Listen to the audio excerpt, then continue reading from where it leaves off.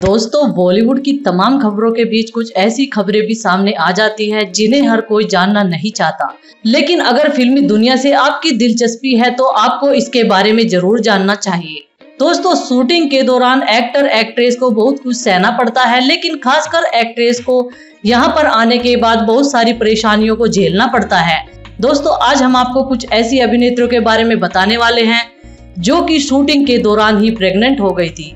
तो दोस्तों, इन अभिनेत्रियों के बारे में जानने के लिए हमारी इस वीडियो को लास्ट तक ज़रूर देखें। अगर वीडियो पसंद आए तो इस वीडियो को लाइक व शेयर ज़रूर कीजिए। जया बच्चन। साल 1975 में आई फ़िल्म सोले की शूटिंग के दौरान जया बच्चन प्रेग्नेंट थी।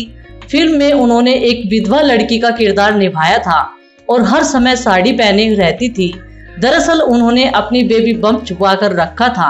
इसके बाद जया ने अभिषेक को जन्म दिया था। नंबर दो, श्रीदेवी। साल उन्नीस सौ सत्तानवे में फ़िल्म जुदाई की शूटिंग के दौरान श्रीदेवी प्रेग्नेंट हो गई थी।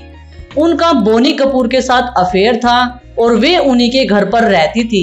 इस फ़िल्म को श्रीदेवी ने पूरा किया और फिर उसी साल प्रेग्नेंट होने के बाद बोनी कपूर के साथ शादी कर ली थी। उस फ़िल्म में श्रीदेवी के अलावा उर्मिला मातोड़कर भी थी और उसमें उनका नाम जानवी रखा गया था।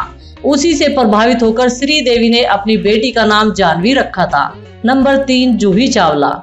बॉलीवुड की चुलबुली एक्ट्रेस जूही चावला ने साल 2001 में आमदनी अठन्नी खर्चा रुपया में शानदार काम किया था, मगर शूटिंग के दौरान वे प्रेग्नेंट हो गई थी, लेकिन फिर भी उन्होंने फ़िल्म को पूरा किया था। इतना ही नहीं, बल्कि जूही ने फ़िल्म झनकार बीट्स की शूटिंग भी पूरी की थी, और उस समय वह दूसरी बार प्रेग्नेंट थी। नंबर चार, ऐश्वर्या राय।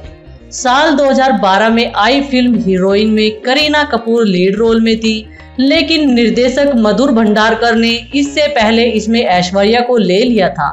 ऐश्वर्या ने फ़िल्म साइन की और शूटिंग स्टार्ट कर दी थी, लेकिन फिर उनकी प्रेगनेंसी की वजह से उन्हें फ़िल्म को छोड़नी पड़ी थी।